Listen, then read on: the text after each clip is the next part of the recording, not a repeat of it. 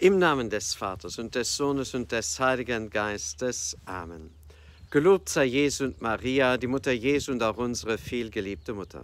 Jesus sagt, wie könnt ihr zum Glauben kommen, wenn ihr eure Ehre voneinander empfangt, nicht aber die Ehre sucht, die von dem einen Gott kommt?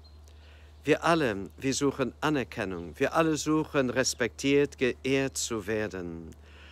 Und es mag gut sein, wenn Menschen uns anerkennen, wenn sie uns respektieren, wenn sie uns die Ehre geben.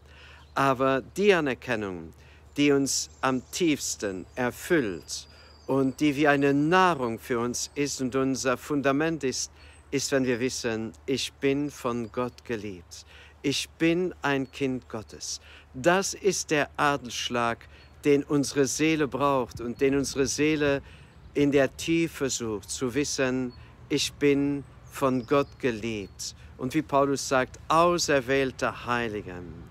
Und dann kann auch schon manches von Menschen kommen, was uns angreift, was uns traurig macht. Aber es wird uns nicht erschüttern können, weil wir wissen, ich gehöre zu Gott, ich bin sein vielgeliebtes Kind. Möge diese tiefe Gewissheit in uns wachsen. Möge dieser Glaube in uns wachsen und in uns verwurzelt sein im Namen des Vaters, des Sohnes und des Heiligen Geistes. Uns allen einen gesegneten Tag.